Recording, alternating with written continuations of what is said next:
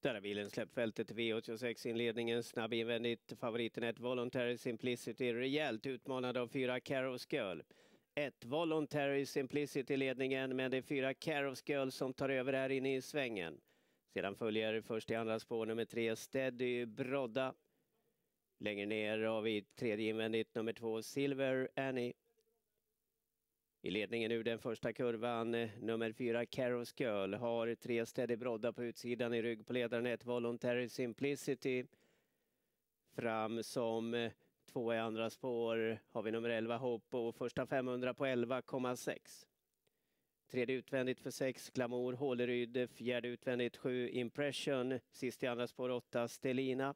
Tittar vi på innerspår har vi som eh, fjärde nummer 5 Real Child. Femte invändigt 9 Thornbird och allra sist på innerspår 12 Bakers Ransom.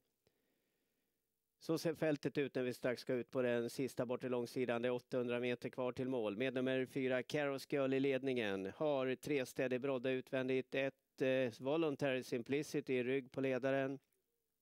Andra utvändigt 11 Hope och 1000 meter på kilometertiden 14,2. Då har vi attack i tredje spår, det är nummer åtta Stelina som avancerar först i tredje spår, får med sig som tvåa i tredje spår nio Thornbird.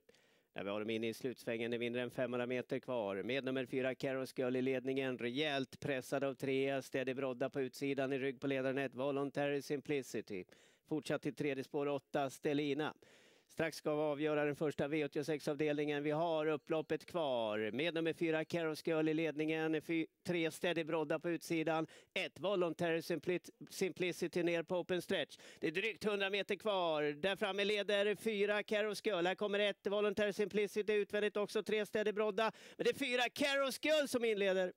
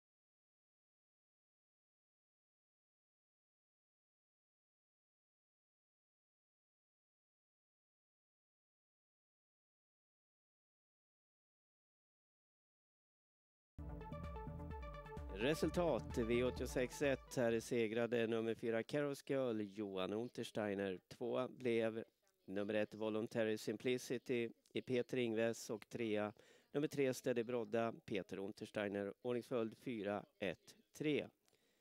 Segrande Carros Girl är uppfödd av Holger Gustafsson Hakenäset. Det är Holger Gustafsson som äger och Johan Untersteiner som tränar och kör. Och vi hälsar kretsen kring Carols Girl hjärtligt välkomna fram till prisutdelningen i vinnarcirkeln. Varsågoda.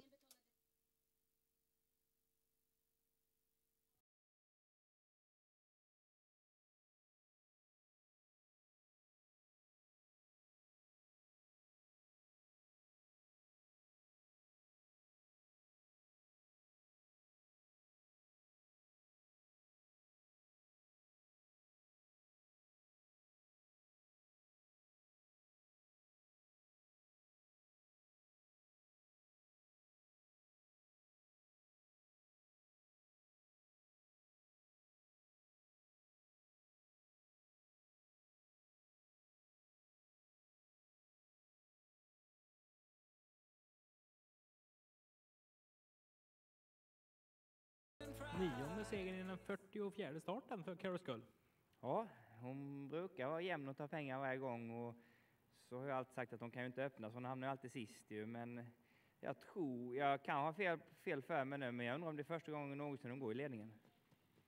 Hur Näst, vanligt är det när man ändå har så mycket pengar på sig? ja, hon är väldigt ovan i alla fall. Jag kommer sagt inte ihåg när hon gick i ledningen, så jag kan ha fel. Va? Men hon brukar aldrig, aldrig hamna där, så att, eh, det är väldigt ovanligt eh, när de har startat så mycket.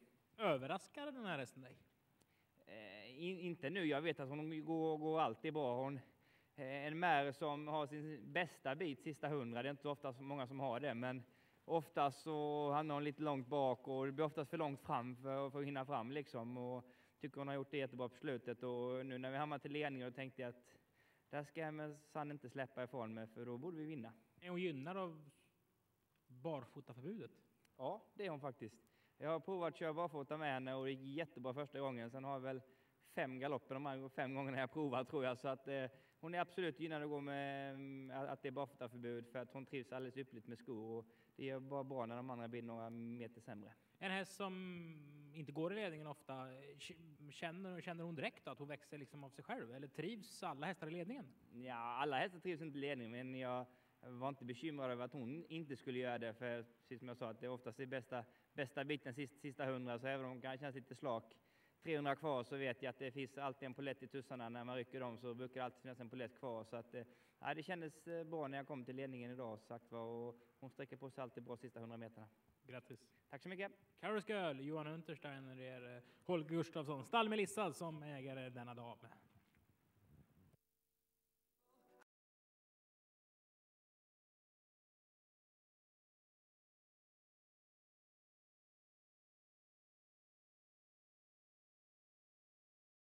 Strax eh, segerflering då i V86 första avdelning, nummer fyra Caros Girl och Johan Untersteiner. Vi har drygt tre minuter kvar till eh, starten.